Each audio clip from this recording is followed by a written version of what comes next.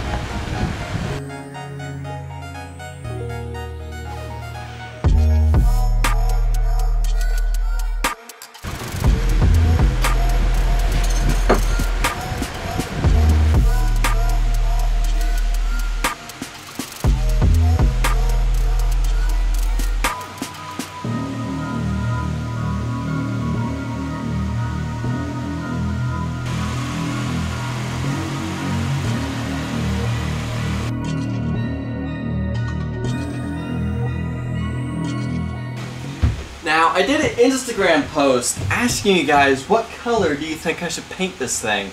Now, some of you were saying to clear coat it, you liked the rusty look, you liked the, uh, the rat rod look of this thing. I, that's not really what I'm going for. But um, some of you were saying to uh, paint it like purple and purple and gold and that kind of stuff, but most of you were saying to paint it red.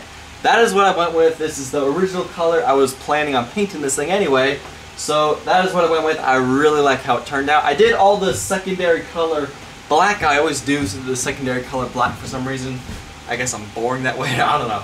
But um, anyway, we finally got the uh, finally got this thing painted. Now let's uh, reassemble it.